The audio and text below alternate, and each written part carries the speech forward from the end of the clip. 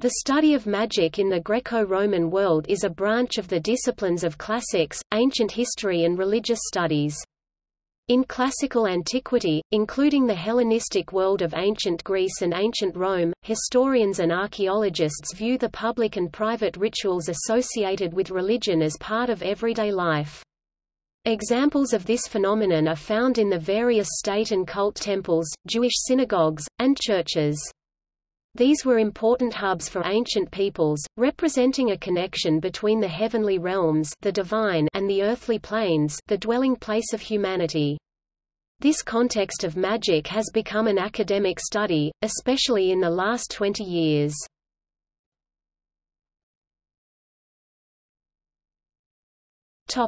Terminology Pervasive throughout the eastern Mediterranean and western Asia until late antiquity and beyond, magos magian, or magician, was influenced by and eventually displaced Greek gos, gos the older word for a practitioner of magic, to include astrology, alchemy and other forms of esoteric knowledge. This association was in turn the product of the Hellenistic fascination for pseudo-Zoroaster, who was perceived by the Greeks to be the Chaldean founder of the Magian inventor are both astrology and magic, a meaning that still survives in the modern-day words magic and magician. Authors William Swatos and Peter Kivisto define magic as any attempt to control the environment or the self by means that are either untested or untestable, such as charms or spells.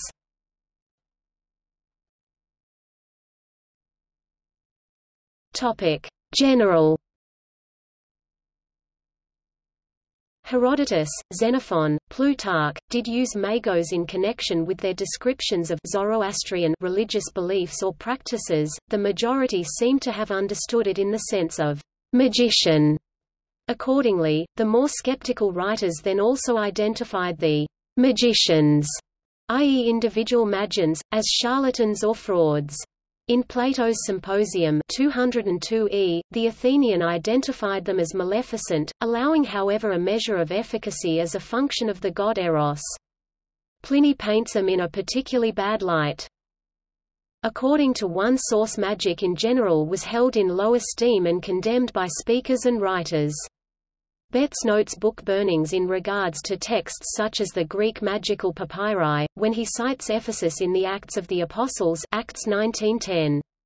And on the account of Suetonius, Augustus ordered the burning of 2,000 magical scrolls in 13 BC. Betts states, as a result of these acts of suppression, the magicians and their literature went underground. The papyri themselves testify to this by the constantly recurring admonition to keep the books secret. The religious beliefs and practices of most people were identical with some form of magic, and the neat distinctions we make today between approved and disapproved forms of religion calling the former religion and church, and the latter magic and cult did not exist in antiquity except among a few intellectuals. It is known that philosophers of the Neo-Pythagorean and Neoplatonic schools, as well as Gnostic and Hermetic groups, used magical books and hence must have possessed copies. But most of their material vanished and what we have left are their quotations. Albrecht Dieterich noted the importance of the Greek magical papyri for the study of ancient religions because most of the texts combine several religions, Egyptian, Greek, or Jewish, among others. According to Robert Parker, Magic differs from religion as weeds differ from flowers, merely by negative social evaluation. Magic was often seen as consisting of practices that range from silly superstition to the wicked and dangerous. However, magic seems to have borrowed from religion, adopting religious ceremonies and divine names, and the two are sometimes difficult to clearly distinguish. Magic is often differentiated from religion in that it is manipulative rather than supplicatory of the deities. Some mainstream religious rites openly set out to constrain the gods. Other rough criteria sometimes used to distinguish magic from religion include, aimed at selfish or immoral ends, and conducted in secrecy, often for a paying client. Religious rites, on the other hand, are more often aimed at lofty goals such as salvation or rebirth, and are conducted in the open for the benefit of the community or a group of followers. Religious ritual had the intended purpose of giving a god their just due honor, or asking for divine intervention and favor, while magic is seen as practiced by those who seek only power, and often undertaken based on a false scientific basis. Ultimately, the practice of magic includes rites that do not play a part in worship, and are ultimately irreligious. Associations with this term tend to be an evolving process in ancient literature, but generally speaking ancient magic reflects aspects of broader religious traditions in the Mediterranean world, that is, a belief in magic reflects a belief in deities, divination, and words of power. The concept of magic however came to represent a more coherent and self-reflective tradition exemplified by magicians seeking to fuse varying non-traditional elements of Greco-Roman religious practice into something specifically called magic. This fusing of practices reached its peak in the world of the Roman Empire, in the 3rd to 5th centuries CE. Thorndike comments, "...Greek science at its best was not untainted by magic." The magic papyri we have left to study, present more Greco-Egyptian, rather than Greco-Roman beliefs. Betts further notes, in this syncretism, the indigenous ancient Egyptian religion has in part survived, in part been profoundly Hellenized. In its Hellenistic transformation, the Egyptian religion of the pre-Hellenistic era appears to have been reduced and simplified, no doubt to facilitate its assimilation into Hellenistic religion as the predominant cultural reference. It is quite clear that the magicians who wrote and used the Greek papyri were Hellenistic in outlook. Hellenization, however, also includes the Egyptianizing of Greek religious traditions. The Greek magical papyri contain many instances of such Egyptianizing transformations, which take very different forms in different texts or layers of tradition.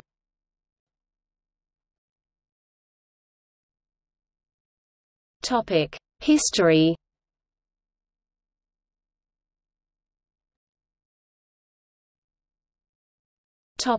Magic in Homeric times In Greek literature, the earliest magical operation that supports a definition of magic as a practice aimed at trying to locate and control the secret forces the sympathies and antipathies that make up these forces of the world physis physis is found in Book X of the Odyssey a text stretching back to the early 8th century BCE. Book X describes the encounter of the central hero Odysseus with the Titan Circe she who is sister to the wizard Aeetes, both being children of the sun, by the same mother, Perse the daughter of the ocean, on the island of Aiaia. In the story Circe's magic consists in the use of a wand against Odysseus and his men while Odysseus's magic consists of the use of a secret herb called moly revealed to him by the god Hermes, god of the golden wand, to defend himself from her attack. In the story three requisites crucial to the idiom of «magic» in later literature are found the use of a mysterious tool endowed with special powers the wand the use of a rare magical herb a divine figure that reveals the secret of the magical act Hermes. These are the three most common elements that characterize magic as a system in the later Hellenistic and Greco-Roman periods of history. Another important definitional element to magic is also found in the story. Circe is presented as being in the form of a beautiful woman a temptress when Odysseus encounters her on an island. In this encounter Circe uses her wand to change Odysseus' companions into swine. This may suggest that magic was associated in this time with practices that went against the natural order, or against wise and good forces Circe is called a witch by a companion of Odysseus. In this mode it is worth noting that Circe is representative of a power the Titans that had been conquered by the younger Olympian gods such as Zeus, Poseidon and Hades.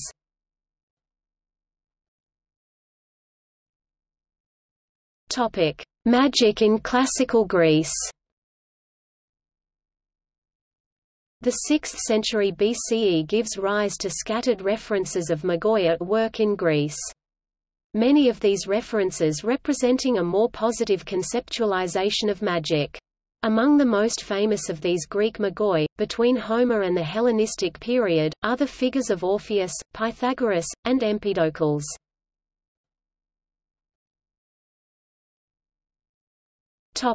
Orpheus Orpheus is a mythical figure, said to have lived in Thrace, a generation before Homer, though he is in fact depicted on 5th-century ceramics in Greek costume.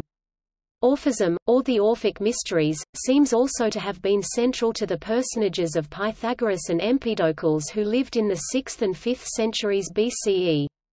Pythagoras for example is said to have described Orpheus, as the father of melodious songs, since Aeschylus the Greek playwright later describes him as he who hailed all things by the rapture of his voice. This suggests belief in the efficacy of song and voice in magic. Orpheus is certainly associated with a great many deeds, the most famous perhaps being his descent to the underworld to bring back his wife, Eurydice. Orpheus' deeds are not usually condemned or spoken of negatively. This suggests that some forms of magic were more acceptable. Indeed, the term applied to Orpheus to separate him, presumably, from magicians of ill repute is theos ana or divine man. Topic: Pythagoras. Magical powers were also attributed to the famous mathematician and philosopher Pythagoras c. 570-495 BCE, as recorded in the days of Aristotle. The traditions concerning Pythagoras are somewhat complicated because the number of vitae that do survive are often contradictory in their interpretation of the figure of Pythagoras. Some of the magical acts attributed to him include being seen at the same hour in two cities, a white eagle permitting him to stroke it. A river greeting him with the words, Hail, Pythagoras! Predicting that a dead man would be found on a ship entering a harbor. Predicting the appearance of a white bear and declaring it was dead before the messenger reached him bearing the news. Biting a venomous snake to death or in some versions driving a snake out from a village. These stories also hint at Pythagoras being one of these divine man figures, Theos Ana, his ability to control animals and to transcend space and time showing he has been touched by the gods.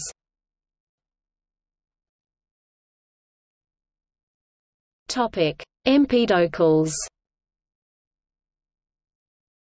Empedocles c. 490 c. 430 BCE too has ascribed to him marvelous powers associated with later magicians, that is, he is able to heal the sick, rejuvenate the old, influence the weather and summon the dead. E. R. Dodds in his 1951 book, The Greeks and the Irrational, argued that Empedocles was a combination of poet, magus, teacher, and scientist. Dodds argued that since much of the acquired knowledge of individuals like Pythagoras or Empedocles was somewhat mysterious even to those with a rudimentary education, it might be associated with magic or at least with the learning of a magus. It is important to note that after Empedocles, the scale of magical gifts in exceptional individuals shrinks in the literature, becoming specialized. Individuals might have the gift of healing, or the gift of prophecy, but are not usually credited with a wide range of supernatural powers as a Magoi like Orpheus, Pythagoras and Empedocles. Plato reflects such an attitude in his Laws 933 AE where he takes healers, prophets and sorcerers for granted. He acknowledges that these practitioners existed in Athens and thus presumably in other Greek cities, and they had to be reckoned with and controlled by laws, but one should not be afraid of them, their powers are real, but they themselves represent a rather low order of humanity. An early Christian analogy is found in the 1st century CE writings of the Apostle Paul. Paul's first letter to the Corinthians conceptualizes the idea of a limitation of spiritual gifts.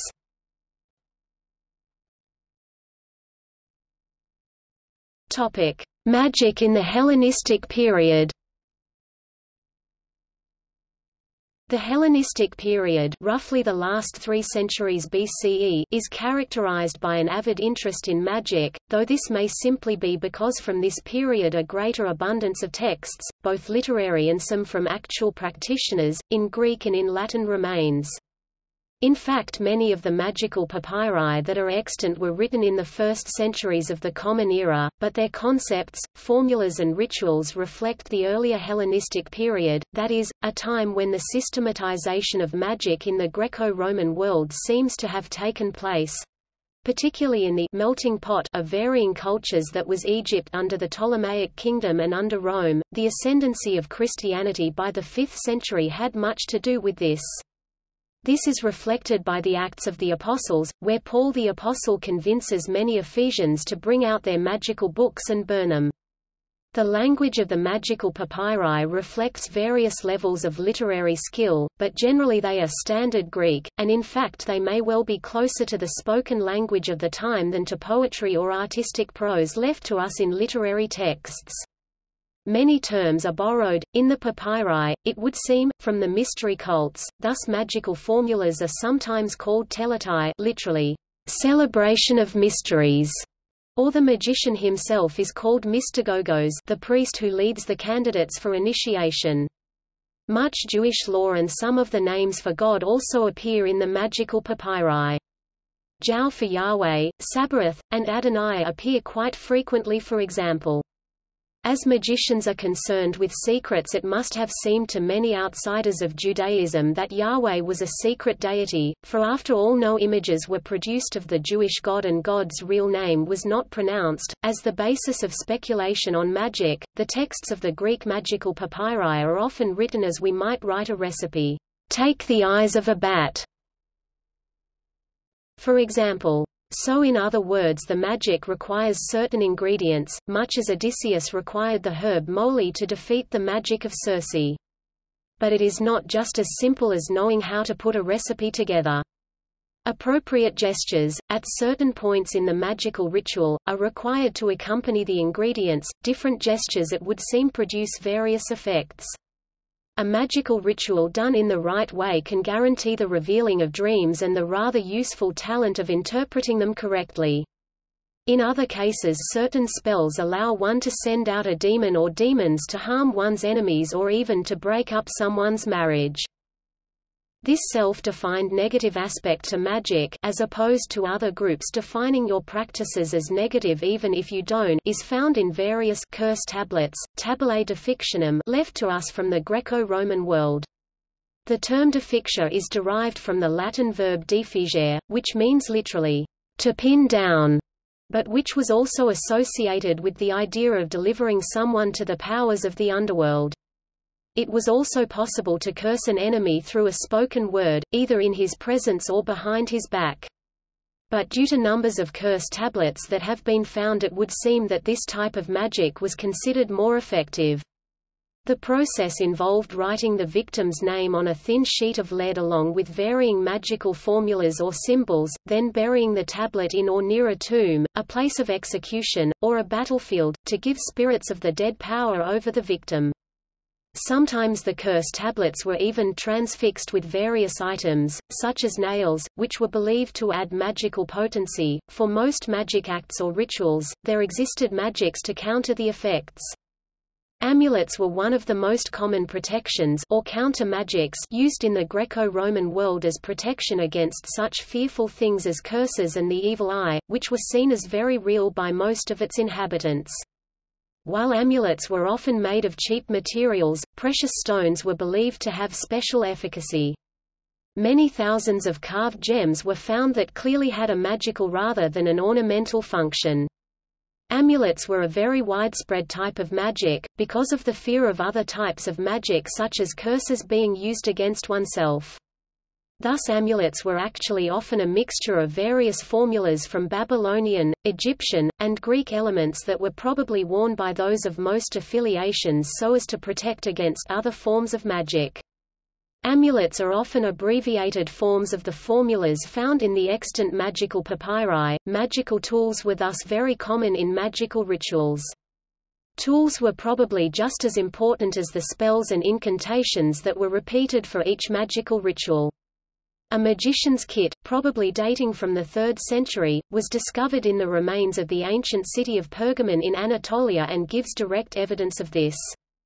The find consisted of a bronze table and base covered with symbols, a dish also decorated with symbols, a large bronze nail with letters inscribed on its flat sides, two bronze rings, and three black polished stones inscribed with the names of supernatural powers. What emerges then, from this evidence, is the conclusion that a type of permanence and universality of magic had developed in the Greco-Roman world by the Hellenistic period if not earlier. The scholarly consensus strongly suggests that although many testimonies about magic are relatively late, the practices they reveal are almost certainly much older. However the level of credence or efficacy given to magical practices in the early Greek and Roman worlds by comparison to the late Hellenistic period is not well known.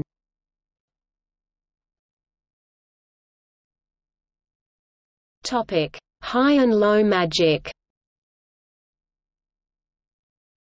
Magical operations largely fall into two categories, theurgy and goetia.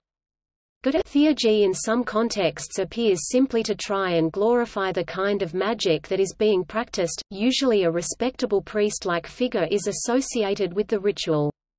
Of this, scholar E. R. Dodds claims, Proclus grandiloquently defines theurgy as, a power higher than all human wisdom, embracing the blessings of divination, the purifying powers of initiation, and in a word all operations of divine possession theol. Platt. p. 63. It may be described more simply as magic applied to a religious purpose and resting on a supposed revelation of a religious character. Whereas vulgar magic used names and formula of religious origin to profane ends, theurgy used the procedures of vulgar magic primarily to a religious end. In a typical theurgical rite, contact with divinity occurs either through the soul of the theurgist or medium leaving the body and ascending to heaven, where the divinity is perceived, or through the descent of the divinity to earth to appear to the theurgist in a vision or a dream. In the latter case, the divinity is drawn down by appropriate symbols or magical formulae. According to the Greek philosopher Plotinus 205 270, theurgy attempts to bring all things in the universe into sympathy, and man into connection with all things via the forces that flow through them. Theurgy connoted an exalted form of magic, and philosophers interested in magic adopted this term to distinguish themselves from the magoi or goetes, goetes singular goes goes, sorcerer, wizard, lower-class practitioners. Goetia was a derogatory term connoting low, specious or fraudulent magia. Goetia is similar in its ambiguity to charm, it means both magic and power to sexually attract.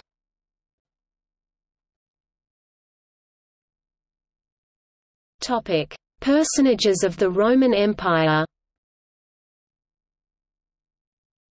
There are several notable historical personages of the 1st century CE who have many of the literary characteristics earlier associated with the Greek divine men, Orpheus, Pythagoras and Empedocles. Of particular note are Jesus the Christ, Simon Magus and Apollonius of Tyana. From an outsider's point of view Jesus was a typical miracle worker. He exorcised demons, healed the sick, made prophecies and raised the dead.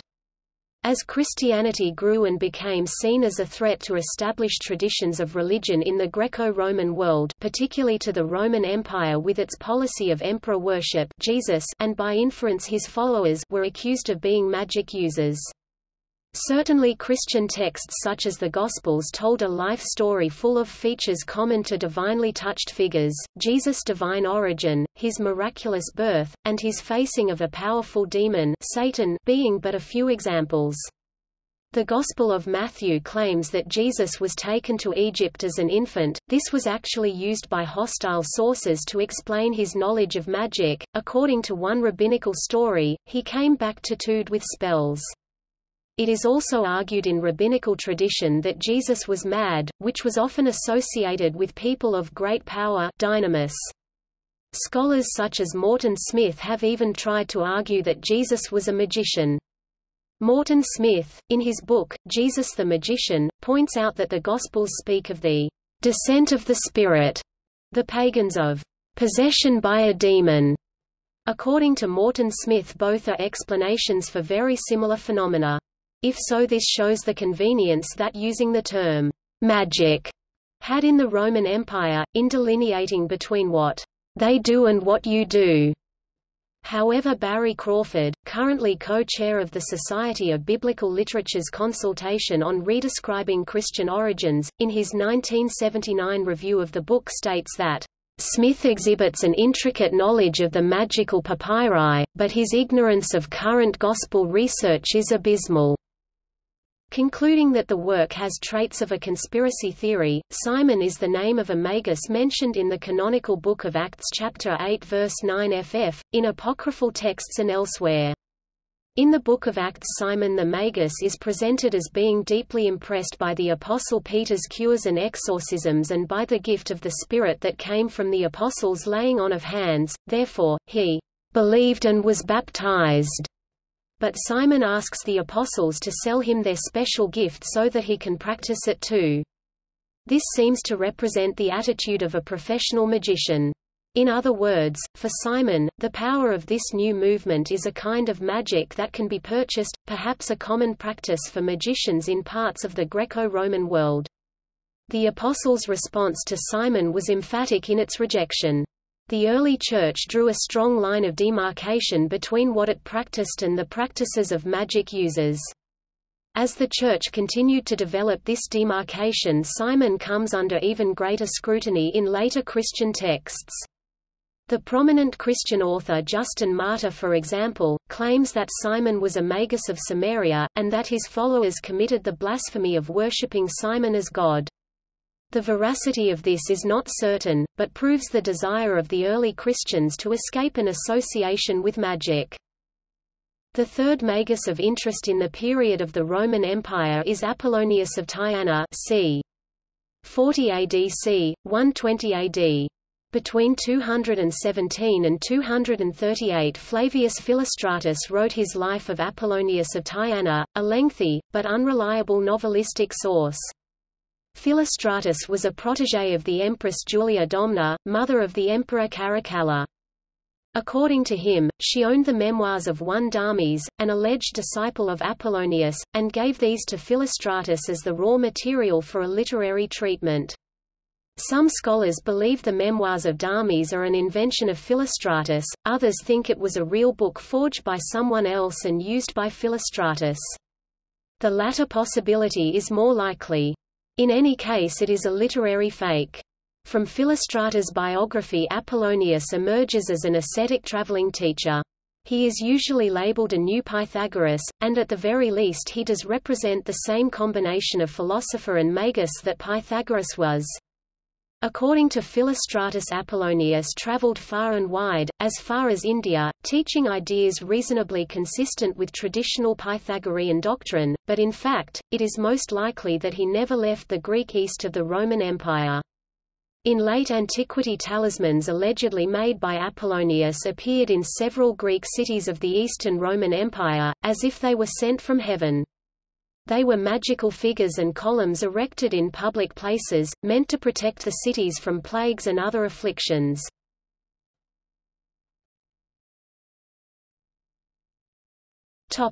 Jewish tradition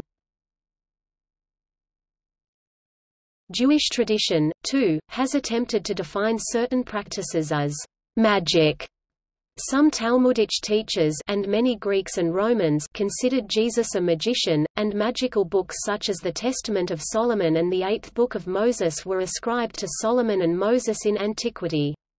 The Wisdom of Solomon, a book considered apocryphal by many contemporary Jews and Christians probably composed in the 1st century BCE claims that God gave me true knowledge of things, as they are, an understanding of the structure of the world and the way in which elements work, the beginning and the end of eras and what lies in between. The cycles of the years and the constellations The thoughts of men The power of spirits The virtue of roots I learned it all, secret or manifest. Thus Solomon was seen as the greatest scientist, but also the greatest occultist of his time, learned in astrology, plant magic, demonology, divination, and physica science. These are the central aims of magic as an independent tradition, knowledge and power and control of the mysteries of the cosmos. Such aims can be viewed negatively or positively by ancient authors. The Jewish historian Josephus for example, writes that, God gave him Solomon knowledge of the art that is used against demons, in order to heal and benefit men. Elsewhere however, there was an Egyptian false prophet a magician that did the Jews more mischief, for he was a cheat. The idea of magic can thus be an idiom loosely defined in ancient thinking but whether magic is viewed negatively or positively the substance of it as a practice can be drawn out. That is, that magic was a practice aimed at trying to locate and control the secret forces of the cosmos, and the sympathies and antipathies that were seen to make up these forces.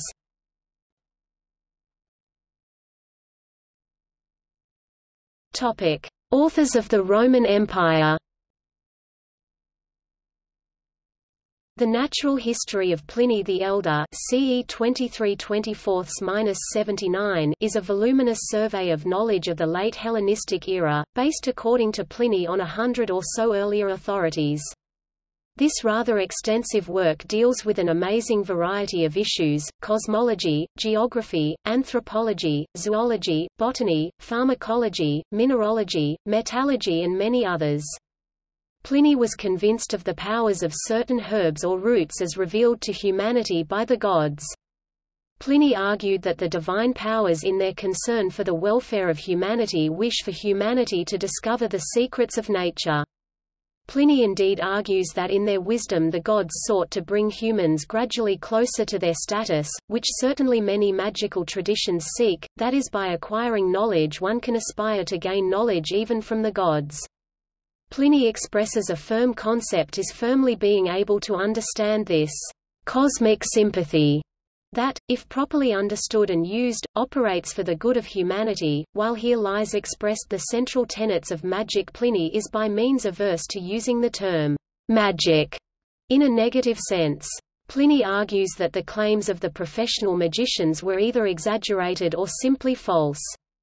Pliny expresses an interesting concept when he states that those sorcerers who had written down their spells and recipes despised and hated humanity for spreading their lies perhaps? To show this Pliny link arts of the magicians of Rome with the Emperor Nero who is often portrayed negatively, whom Pliny claims had studied magic with the best teachers and had access to the best books, but was unable to do anything extraordinary. Pliny's conclusion, however, is cautious, though magic is ineffective and infamous, it nevertheless contains shadows of truth, particularly of the arts of making poisons.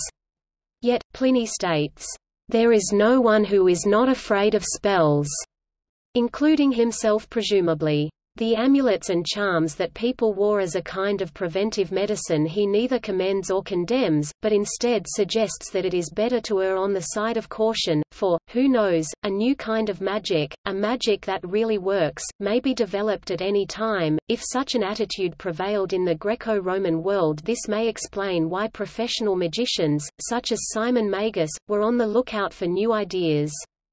Pliny devotes the beginning of Book 30 of his work to the Magi of Persia and refers to them here and there especially in Books 28 and 29. Pliny defines the Magi at times as sorcerers, but also seems to acknowledge that they are priests of a foreign religion, along the lines of the Druids of the Celts in Britain and Gaul. According to Pliny, the art of the Magi touches three areas, healing, ritual, and astrology. To the Platonist philosopher Plutarch c. 45 to 125 we owe the treatise on superstition. Plutarch defines superstition as fear of the gods, Specifically, he mentions that fear of the gods leads to the need to resort to magical rites and taboos, the consultation of professional sorcerers and witches, amulets and incantations, and unintelligible language in prayers addressed to the gods. Although Plutarch himself takes dreams and omens seriously, he reserves superstition for those who have excessive or exclusive faith in such phenomena. Clearly, it is a matter of discrimination. He also takes for granted other magical practices, such as hurting someone by the evil eye. He also believes in demons that serve as agents or links between gods and human beings and are responsible for many supernatural events in human life that are commonly attributed to divine intervention. Thus, a demon, not Apollo himself, is the everyday power behind the Pythia. Some demons are good, some are evil, but even the good ones, in moments of anger, can do harmful acts. In general then, Plutarch actually accepts much of what we today might define as superstition in itself. So what he is really defining as superstition are those practices not compatible with his own philosophical doctrine. A later Platonist, Apuleius born c. 125, gives us a substantial amount of information on contemporary beliefs in magic, though perhaps through no initial choice of his own. Apuleius was accused of practicing magic, something outlawed under Roman law. The speech he delivered in his own defense against the charge of magic, in c. 160 CE, remains and it is from this apologia that we learn how easy it was, at that time, for a philosopher to be accused of magical practices. Perhaps in a turn of irony or even a tacit admission of guilt, Apuleius, in his Metamorphoses or The Golden Ass, which perhaps has autobiographical elements, allows the hero, Lucius, to dabble in magic as a young man, get into trouble, be rescued by the goddess Isis, and then finds true knowledge and happiness in her mysteries. Like Plutarch, Apuleius seems to take for granted the existence of demons. They populate the air and seem to, in fact, be formed of air. They experience emotions just like human beings, and despite this their minds are rational. In light of Apuleius' experience it is worth noting that when magic is mentioned in Roman laws, it is always discussed in a negative context. A consensus was established quite early in Roman history for the banning of anything viewed as harmful acts of magic. The laws of the Twelve Tables 451 to 450 BCE for example expressly forbid anyone from enticing his neighbor's crops into his fields by magic. An actual trial for alleged violation of these laws was held before Spurius Albinus in 157 BCE.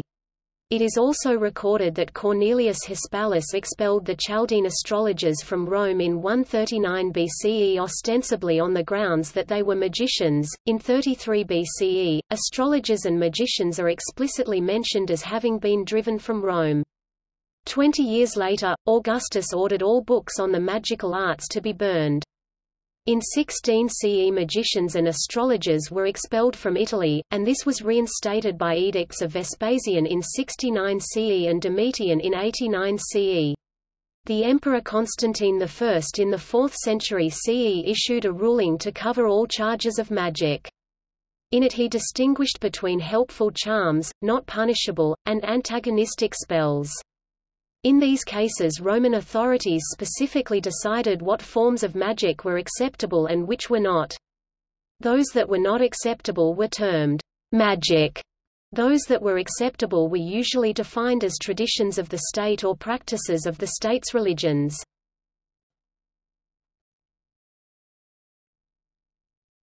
Topic. Summary John Middleton argues in his article, Theories of Magic in the Encyclopedia of Religion that Magic is usually defined subjectively rather than by any agreed-upon content. But there is a wide consensus as to what this content is. Most peoples in the world perform acts by which they intend to bring about certain events or conditions, whether in nature or among people, that they hold to be the consequences of those acts. Under this view, the various aspects of magic that described, despite how the term magic may be defined by various groupings within the Greco-Roman world, is in fact part of a broader cosmology shared by most people in the ancient world. But it is important to seek an understanding of the way that groups separate power from power, thus, magic often describes an art or practices that are much more specific. This art is probably best described, as being the manipulation of physical objects and cosmic forces, through the recitation of formulas and incantations by a specialist that is a magus on behalf of him, herself or a client to bring about control over or action in the divine realms. The magical texts examined in this article, then, are ritual texts designed to manipulate divine powers for the benefit of either the user or clients. Because this was something done in secret or with foreign methods these texts represent an art that was generally looked upon as illegitimate by official or mainstream magical cults in societies.